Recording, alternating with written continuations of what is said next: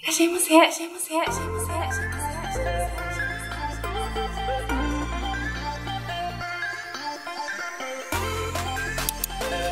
せ。皆様こんばんは。元美容部員の和田さんです。本日もお忙しい中ご来店いただきまして誠にありがとうございます。え本日はお気づきの方ももういらっしゃると思うんですけれどもすごくリアルな元美容部員和田さんの、うん、今のバッグの中身をご紹介していきたいと思います恐縮ですそれではどうぞごゆっくりとお楽しみくださいませ。それでは早速紹介していきたいと思います。普段会社に来るときはこのようなゆるい格好が結構多くてですね YouTube の撮影の時は結構しっかりメイクをするんですけれどもそれまでは割と肌に負担をなるべくかけないような、まあ、ほぼすっぴんで正直てしまいますね。ニキビに関しては皮膚科でもテープで隠すことが大事。普段からテープをして自分の視界に入らないようにしています。見てしまうとちょっとこういじりたくなっちゃうのでこれがベーシックスタイルの普段の和田さんでございます。でちょっとバッグを紹介していきたいんですけども最近ちょっと和田さん実は荷物が多すぎてリュックに変更しまして最近こちらのねいっぱい入るリュックに買いました。こちらは Amazon で8000円ぐらいだったと思うんですけどデザインが可愛くて購入してしまいましてじゃあちょっと中身を開けていきたいと思います。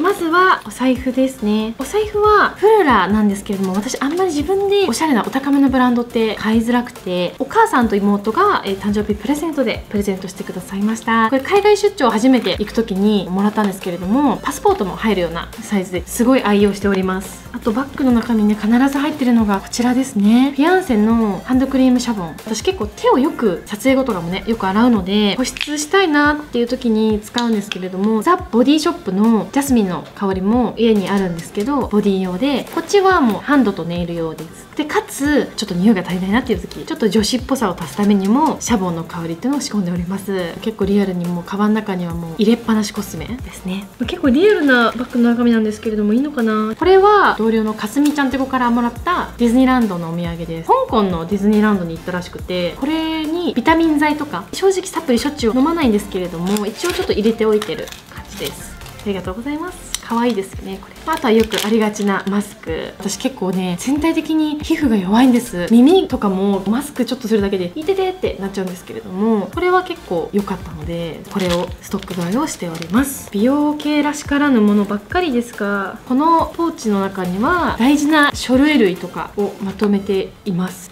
そう。4000円ぐらいしたのかなポーチで。ポーチで4000円ってちょっとね贅沢な話なんですけれども大事な書類を入れたかったのとアフタヌティって結構可愛い作家がね多いですよね。あとはもうこのバッグの半分以上を占めているこのゼロベースから元美容部員和田さんになれるというコスメポーチでございます。以前あの紹介した時からだいぶ、えー、アイテム種類が全て多分変わってる勢いで新入りたちも多いのでまたちょっと動画でポーチ紹介をさせていただきたいと思います。結構これがね多分重さがあるんですよね。とはそうですねイヤホン。こうやって入れがちですよねやっぱり。ちゃんと畳まないといけない。あとは全身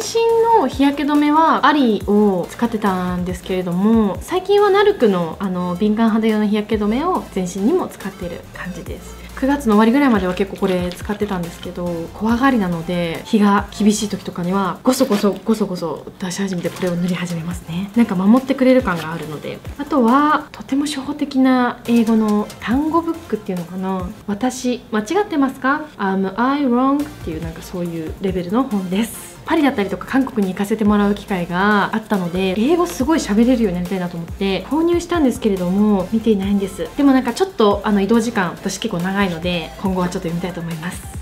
あとは結構そのメイク方法とかを考えてる時に残すノート。これはですね私ずっとパソコンでこういうの次やろうとかカタカタって打っていたんですけれども意外と企画が出てこなかったりとかでも手を動かした時にすごく良かったんですね。そっからノートは絶対に持ち歩くように決めています。普通のキャンパスノート。はい。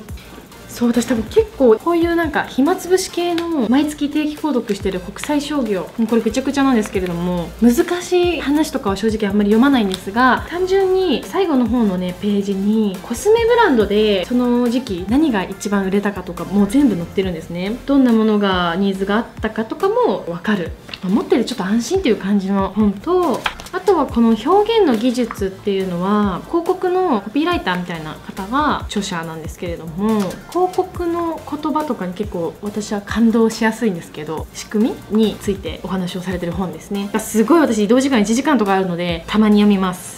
とは撮影の終わった後とかちょっとお肌のことを考えてメイクを落とすことが多いんですけど最近もうクレンジング持ってこようかなって思うぐらいのレベルなんですがまだこれでなんとかなってますこれが1枚でクレンジングからスキンケアと角質ケアまで行ってくれるシートで以前ちょっとセフォラのシートを紹介したと思うんですけどセフォラがねもう今なくなっちゃったのでこっちを使っています。結構良くて驚いたんですよねちゃんと落ちるのにしっかりこう潤してくれる。でオイルフリーなんですね。だいぶ珍しいと思います。これからもきっとお世話になるかなと思います。またすごいズボラな性格がたたりましたが和田さんの名刺が入っております。名刺ね。こういう C チャンネルのマークの名刺があるんですけどそろそろ買わないと怒られちゃうケースね。撮影用に持ち歩いてることが多いんですけどフェアリーワンデーですね。私カラコンは今リッチスタンダードかルミアかフェアリーワンデー。たまにニッシュブルーミンっていう感じなんですけど結構その4つでループしてる感じですコンタクトってあんまり最近撮影では使わないんですけど使いたいと思った時にないとすっごくテンションが下がるのでなんかこんなちょっともう箱とかちょっと折れちゃっても入れっぱなしにしています。あとはもう本当にリアルなね皮膚科のお薬とにかく一番大事なアイテムですね。あとはつけまつげこれストックが一応常に1個はバッグの中に入ってますね。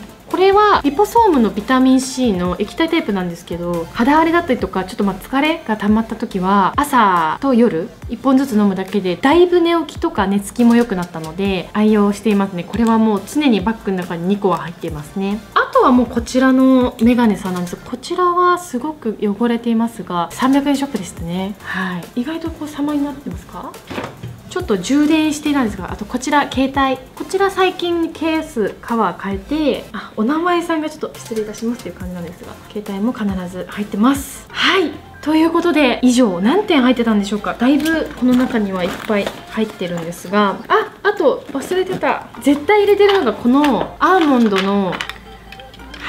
時期によってコンビニ食がすごく増えるので良質な油を手軽に取りたいなっていうところでアーモンドは始めました。必ずお水とかも多分バッグの中には常にあります。本当にニキビに悩んでる方おすすめなのであとはお菓子食べずにこのアーモンドで我慢するとか気になる方はぜひ。これお母さんにもらいました。はいということで以上ですね。元美容院和田さんの、えー、リアルなお仕事バッグの中身をご紹介しました。今日はちょっとまあお仕事バッグなのでメイクアイテムがあんまり参考になるものが少なかったかなと思うんですけれどもまた次回ちょっとメイクポーチの中身も一新したのでそちらもご紹介したいと思います。それでは本日もお忙しい中ご来店いただきまして誠にありがとうございました。また次の動画でお会いいたしましょう。またのご来店をお待ちいたしております。他にもおすすめの動画がございますのでチャンネル登録よろしくお願いいたします。ご来店ありがとうございました。